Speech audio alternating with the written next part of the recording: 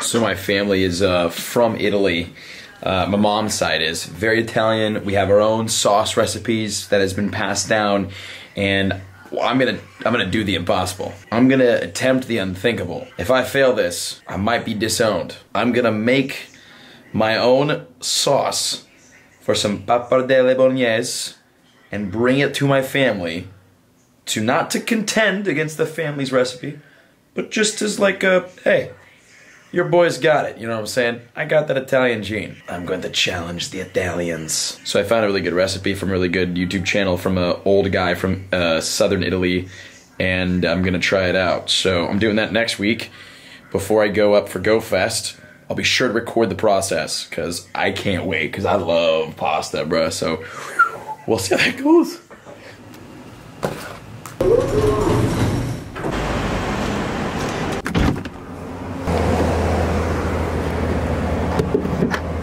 Another day, another Tesla charge. Today we obviously have a brand new event, the summer themed event and the buddy Pokemon event happening, right? Buddy buddy event, the friendship event. Sorry, the friendship event happening in Pokemon Go. We're going to go out, we're going to explore, we're gonna get new Pokemon. We're gonna see what it's all about today. Let me know in the comments, have you gotten any new cool Pokemon or the brand new shiny that comes out during today's event? Let's quickly recap over what's happening throughout this event, what we're gonna see, how long it's gonna last, and then let's hunt. So the friendship part of the challenge starts today, Friday, July 17th at 8 a.m., which is when I'm recording the video, uh, and it ends next week on Wednesday, July 22nd at 10 o'clock p.m. So obviously the friendship challenge is just a research challenge that you can use uh, or that you can do to complete to unlock spawns at Pokemon Go Fest. The one for this week for the friendship challenge, Team Instinct will unlock Togetic, uh, Team Mystic will unlock Dratini, and then Team Valor will unlock Litwick. Also, the challenges for last week were all unlocked. Everybody, we, we got it. Success. Keep the research going, everybody, because we're doing very good. So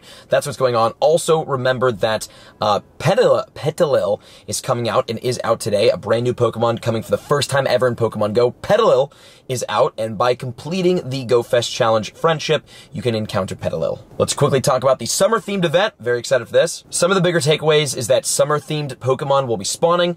Uh, also, you're gonna have uh, Shiny Bellsprout, Shiny Bellsprout, brand new Shiny coming out today. Shiny Bell- Bellsprout, uh, Petilil as well coming out for the first time ever, and that's in 5 KM eggs. And summer Pikachu Hat Pikachu will be out too. Summer themed Pokemon include the Pikachu with the hat, Oddish, which could be shiny, Bellsprout, which can now be shiny, Slowpoke, Shellder, and Krabby, which both could be shiny, Tangela, uh, Wingull, Slakoth, which could be shiny, Wailmer, which could be sh- shiny, Castform, uh, and Hippopotas, also which could be shiny, and then Petilil. So that's what to that's what's to expect uh, in spawns and in eggs. Pichu with the hat, which could be shiny, Bellsprout, uh, Tentacool, and Petilil, all in 5 kilometer eggs.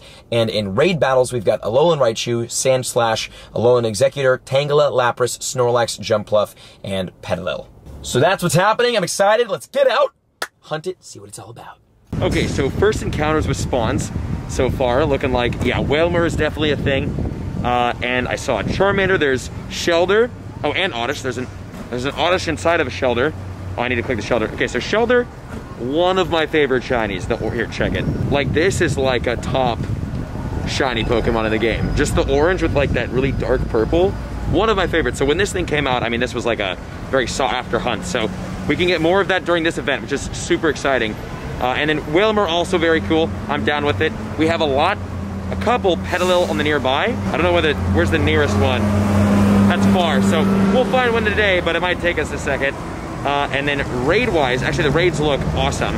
Uh, raid-wise, we've got uh, Wingull, we've got Alolan Marowak, Raichu, all can be shiny, so that's super great. So first impression so far, it looks awesome.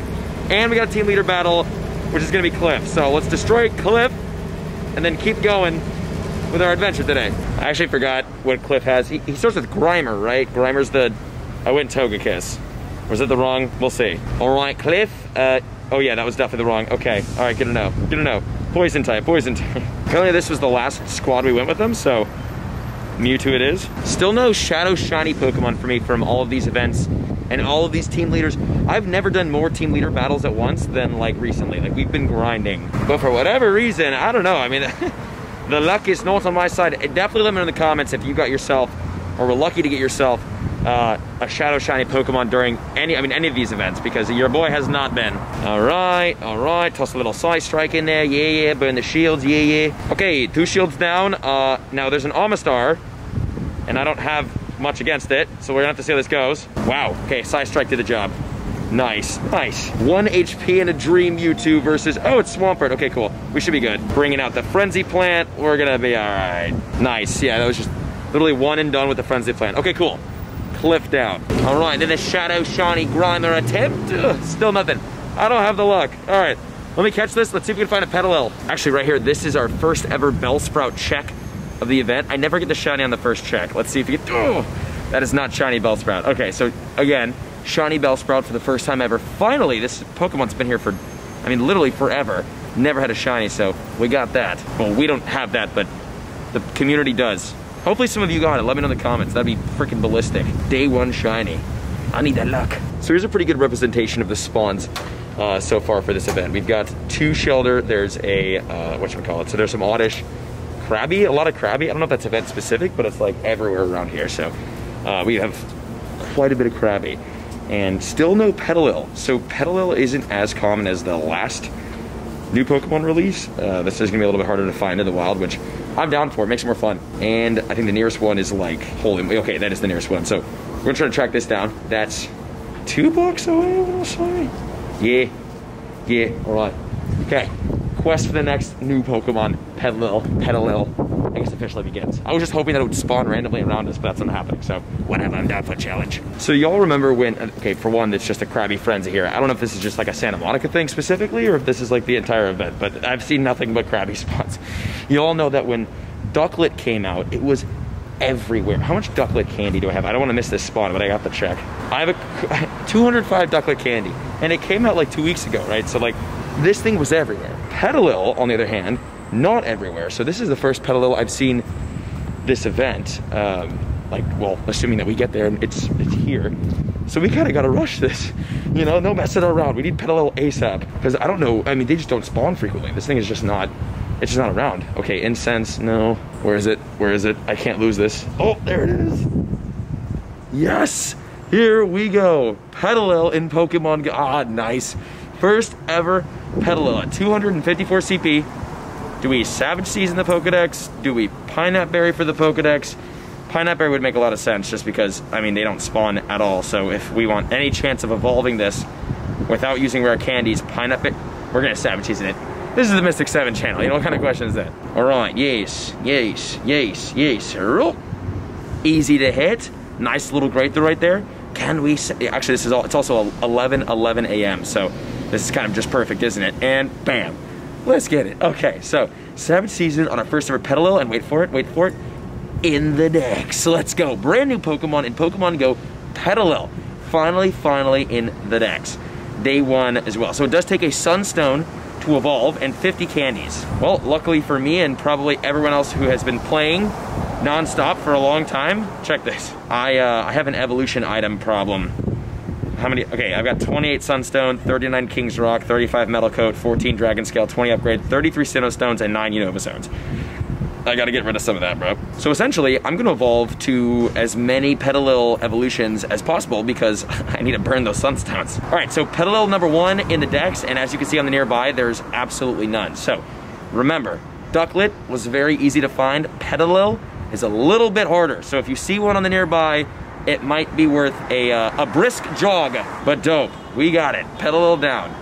Now we just gotta get enough candies to evolve it.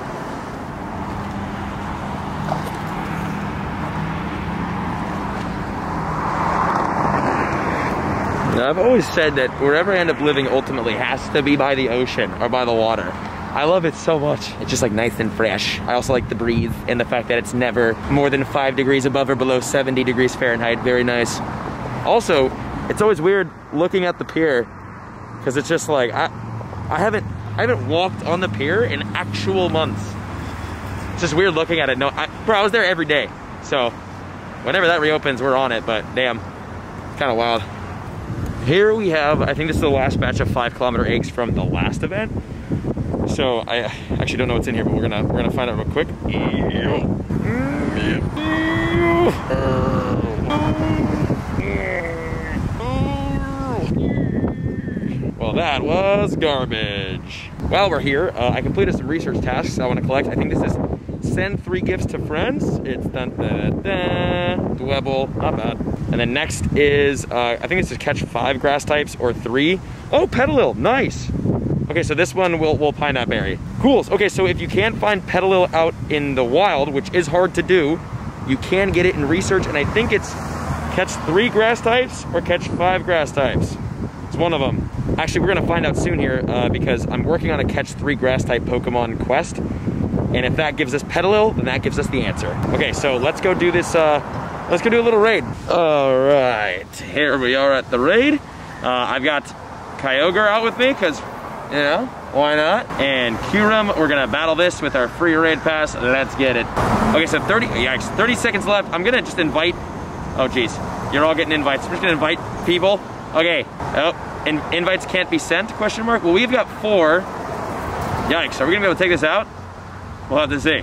Safe to take off the mask. Nobody within like 50 feet of me. What I will say is that the new invite friends to raids feature is stunning. I mean, absolutely incredible. Might be my favorite feature added to the game like almost ever. Like it's up there.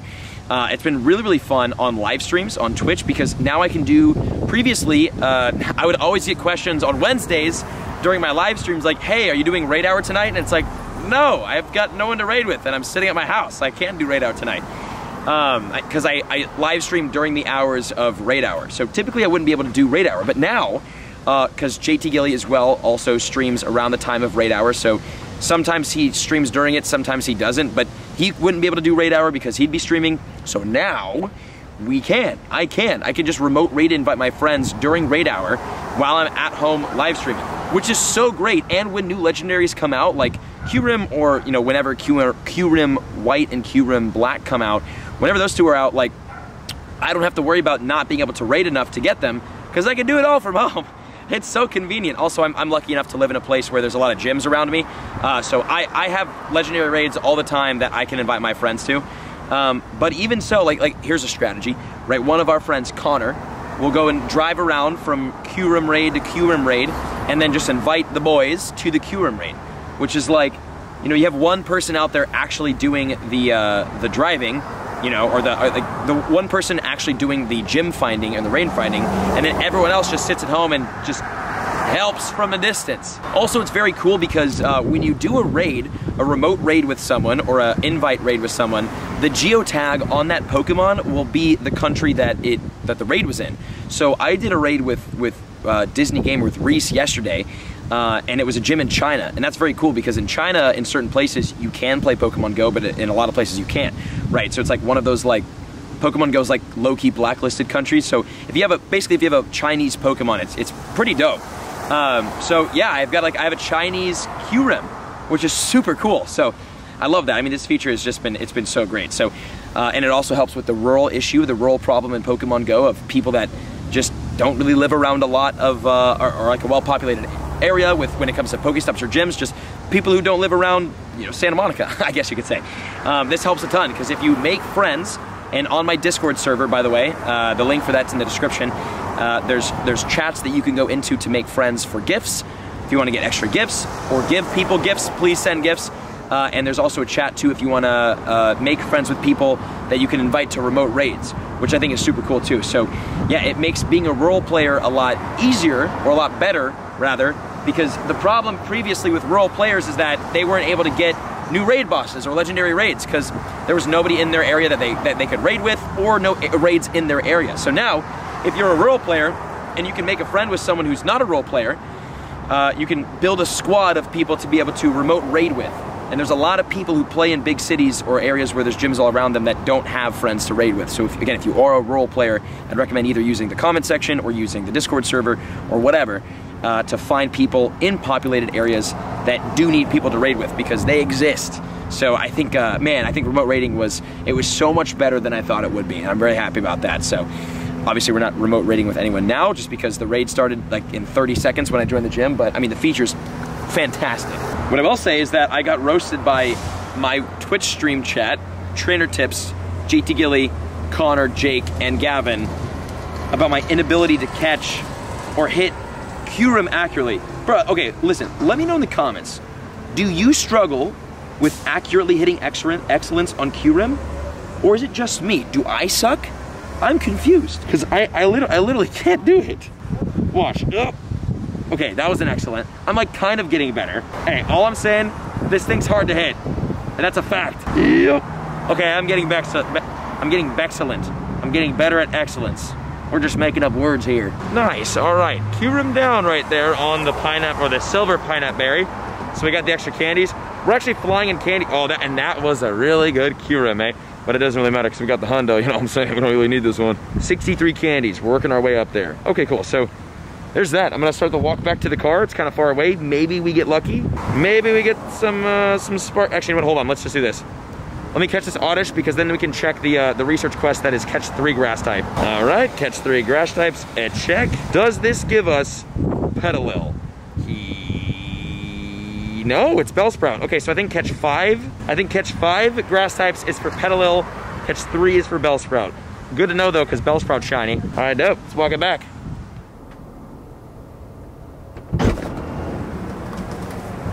Okay, unfortunately, nothing spicy on the walk back to the car. But the one spicy thing is that the Tesla chargers are working at full power again, which means I got a full battery finally, and I don't have to come back here tomorrow. So that's what's going on with the brand new Pokemon Go update. If you're excited about it, let me know in the comments. If you get anything fun, let me know in the comments.